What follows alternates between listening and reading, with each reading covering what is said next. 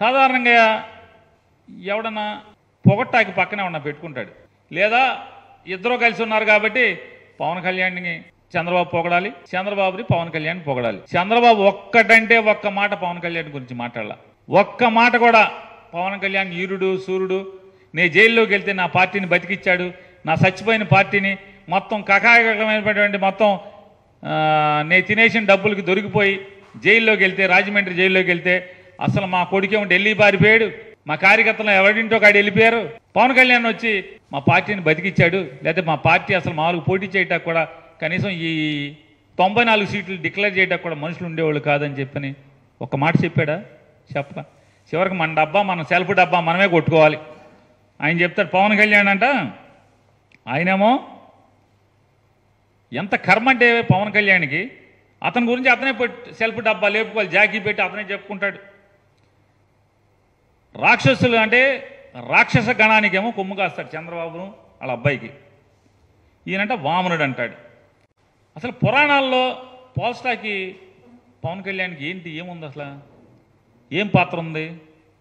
శల్యుడి పాత్ర ఒకటే ఉంది. పవన్ కళ్యాణ్ పురాణంలో పార్చాలంటే శల్యుడి పాత్ర ఒకటే. కాపుల్ని ఇతని మీద విపరీతమైనటువంటి అంటే మాకు కూడా ముఖ్యమంత్రి ఉంటే బాగుంటుంది కదా. పవన్ కళ్యాణ్ చెప్పాడు కదా ఇన్నాళ్ళు కమ్మోళ్ళు ఆంధ్ర రాష్ట్రాన్ని వేలారు రెడ్లు వేలారు మన కులాన్ని నుంచి కూడా ఎవడొకడు ముఖ్యమంత్రి అయితే బాగుంటుంది కదా రాజ్యాధికారం కాపులకు కూడా వస్తే బాగుంటుంది కదా అని కాపులందరూ కూడా ఆశపడి సరే నీకు ఓటేద్దాం అనుకున్నారు ప్రయత్నం చేస్తారు మెజార్టీ అంటే చాలామంది కాపులు అనుకుంటున్నాం అనుకో. కానీ ఏం చేస్తున్నావు? వాళ్ళందరినీ జెండా మోసే కార్యకర్తలందరూ కూడా నువ్వు కనపడితే చాలు పాపం మొన్నటిదాకా మధ్యదాకా మధ్య దాకా ఇప్పుడు ఒక సంవత్సరం క్రితం వరకు సీఎం సీఎం సీఎం అని అరుస్తూ ఉండేవాళ్ళు పాపం. అమాయకత్వంతో. పవన్ కళ్యాణ్ తరపున మేము పోటీ చేస్తామని చాలామంది పరిగెట్టుకు వస్తూ ఉండేవాళ్ళు.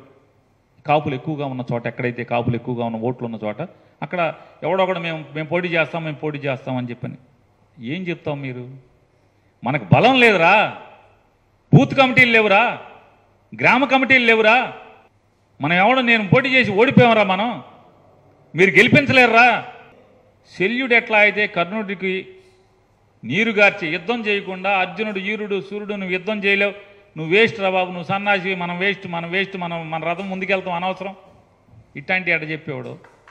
శల్యుళ్ళాగా మొత్తం పార్టీని పార్టీ జెండా మోసే కార్యకర్తల్ని పోటీ చేద్దాం అనుకున్నటువంటి ముందుకు వచ్చేటువంటి నాయకుల్ని ఓటేద్దాం అనుకుని ముందుకు వచ్చేటువంటి వాళ్ళందరినీ కూడా శల్యుళ్ళాగా మొత్తం నిర్వీర్యం చేస్తున్నాడు. వాళ్ళ నైరాశ్యాన్ని నింపుతున్నాడు.